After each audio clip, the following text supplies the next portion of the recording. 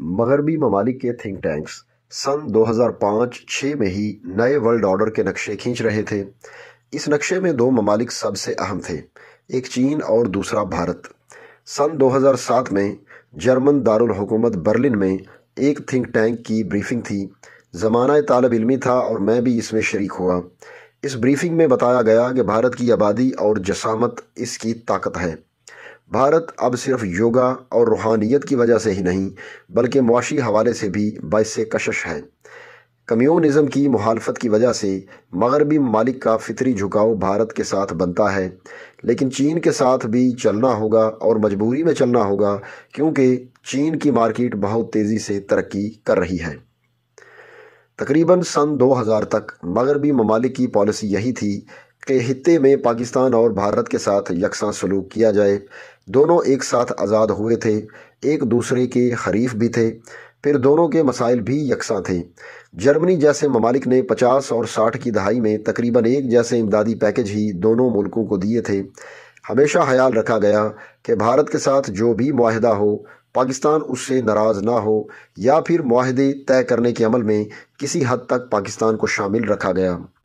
लेकिन जब चीन का मामला आया तो मगरबी ममालिक के थिंक टैंक्स ने दलील देते हुए कहा कि अगर चीन का मुकाबला करना है तो पाकिस्तान को नज़रअंदाज करते हुए भारत के साथ ताल्लुकात में इजाफा करना होगा।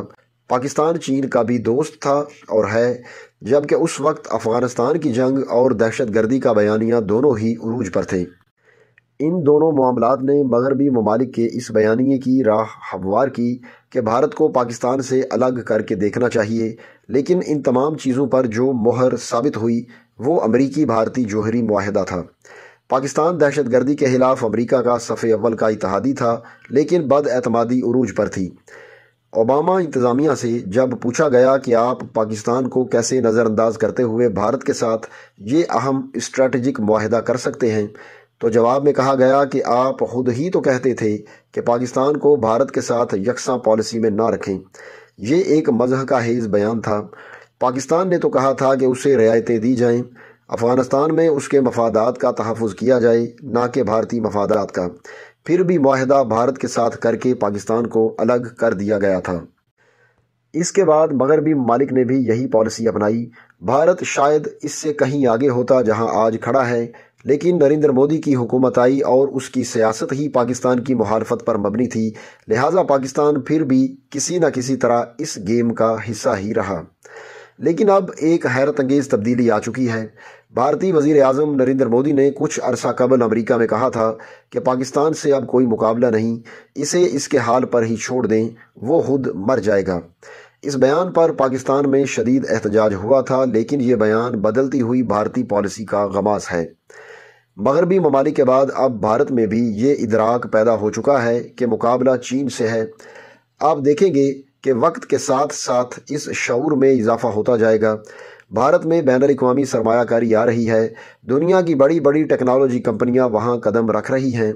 भारत चाँद पर कमंद डाल रहा है और पाकिस्तान में बैठे लोग भी भारत को इस बात पर मुबारक दे रहे हैं। यानी अवामी सतह पर भी कबूलियत आई है कि भारत आगे निकल गया है। जिस भारत की जीडीपी सन 2000 में तकरीबन 470 बिलियन डॉलर थी, सन 2023 में वही जीडीपी तीन अशारिया चौहत्तर ट्रिलियन डॉलर हो चुकी है। आज से पाँच साल पहले की बात करें तो पाकिस्तानी वजारत हारजा और फ़ौज के बयान अक्सर भारत मुखालिफ होते थे, जबकि भारत की तरफ़ से जवाब भी आता था। अब सूरत हाल तब्दील हो चुकी है। पाकिस्तानी फ़ौज और वजारत हारजा के बयान अब अफ़गानिस्तान के ख़िलाफ़ होते हैं और जवाब भी उधर से ही आता है। आपको ये भी देखना चाहिए कि एक अरसे से भारत के पाकिस्तान मुखालिफ बयान में बतदरीज कमी आ रही है। इसका मतलब ये है कि अब आप अफ़गानिस्तान के साथ इंगेज रहेंगे, ना कि भारत के साथ। ये है वो पॉलिसी की तब्दीली जो गुज्त दस बरसों में आई और जिसका पाकिस्तानी पॉलिसी साजों को एहसास भी नहीं हुआ। जब भारत को चाँद पर जाने के लिए मुबारकबादें दी जा रही थीं, पाकिस्तानी वज़ीर अजम ने कौम को ये मुबारकबाद दी कि तीन अरब डॉलर का कर्ज मंजूर हो गया है। ये मुबारकबाद नहीं, एक नोहा था। जनरल असलम बेग ने एक मरतबा भारत को मुखातब करते हुए डराया था कि जब अफ़गान मुजाहिदीन फारग होंगे तो कहाँ जाएँगे? कहीं ना कहीं तो उन्हें मसरूफियत ढूंढना होगी। अब हालात बदल चुके हैं। भारत के साथ कश्मीर के हवाले से खुफिया मामला काफ़ी हद तक तय पा चुके हैं। भारत की तरफ़ से पाकिस्तान को दहशतगर्दी से जोड़ने वाले बयानिए ने पाकिस्तान को खौफजदा किया है और पाकिस्तान इस हवाले से अपनी पॉलिसी भी वाजिया तौर पर तब्दील कर चुका है। लेकिन मसला यह है कि जैसा जनरल असलम बेग ने कहा था कि तालिबान फिर किधर जाएँगे।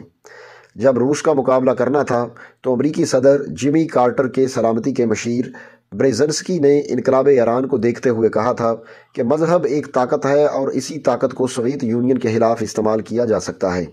उनकी थ्योरी आर्क ऑफ़ क्राइसिस भी इसी बुनियाद पर थी कि अमेरिका सियासी इस्लाम की हमायत करते हुए सोवियत यूनियन और अरब कौम परस्त तहरीकों का मुकाबला कर सकता है। इस थ्योरी और पॉलिसी का बुनियादी मकसद ही यही था कि बुनियाद परस्ताना इस्लाम और एंटी कम्युनिस्ट फोर्सेस को प्रमोट किया जाएगा। तो पाकिस्तान के शमाल मगरबी इलाकों में शिद्दत पसंदी और मज़हब की ताकत अब भी मौजूद है और इसे कोई भी इस्तेमाल कर सकता है। इन इलाकों में कानून की गिरफ्त कमज़ोर है और इस हला को पुर करते हुए वहाँ कई ताकतें अपने कदम जमा सकती हैं। सरहदी इलाकों में आए दिन हमले हो रहे हैं और पाकिस्तानी तालिबान का ये मसला इस्लामाबाद को मुस्तबिल में भी इंगेज रखेगा। अफ़गानिस्तान की तरफ़ ये सरहदी इलाके अफ़गान तालिबान के भी मुकम्मल कंट्रोल में नहीं, लेकिन इस्लामाबाद जवाब दे काबिल हुकूमत को ही बनाएगी। पाकिस्तान के अफ़गानिस्तान मुखालिफ बयान में इजाफा होता जाएगा और इस तरह हालात कशीदा तर हो सकते हैं। अफ़गानिस्तान में पाकिस्तान के खिलाफ नफरत भी मौजूद है और सरहदी इलाकों में पाकिस्तान मुखालिफ तालिबान और असलहा भी। पाकिस्तान को इस मसले से जान छुड़ाते हुए भी कई साल लगेंगे और तब तक भारत मजीद कई तरक्याती प्रोग्राम शुरू कर चुका होगा। पाकिस्तान गुजशत दस बरसों के दौरान भारत के साथ मुस्बत मुकाबलाबाजी कर सकता था, लेकिन तरजीहत और हालात ने उसे ऐसा ना करने दिया। पाकिस्तान आज तक सियासी अदम इसकाम का शिकार है। इंतबात के बावजूद मुल्की सियासत गैर यकीनी का शिकार है। अब माजी की पॉलिसियों का हमेयाजा भुगतने का वक्त है। पाकिस्तान को जल्द अज जल्द इन पुराने मसाइल से निमटना होगा, उन्हें समेटना होगा।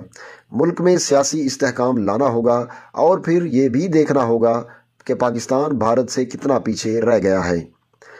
दोस्तों, ये डब्ल्यू डी उर्दू में इम्तियाज़ अहमद का तजिया था, जो 19 मार्च 2024 को शाया हुआ।